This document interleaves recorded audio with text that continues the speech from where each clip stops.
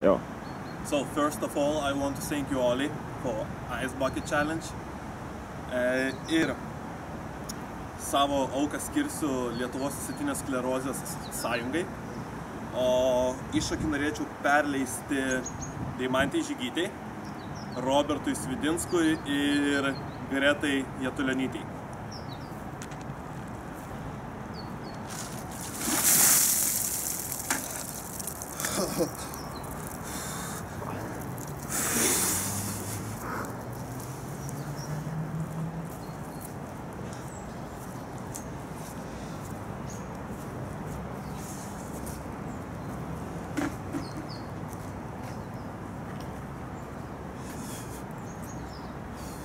Nu, kokie įspūdžiai?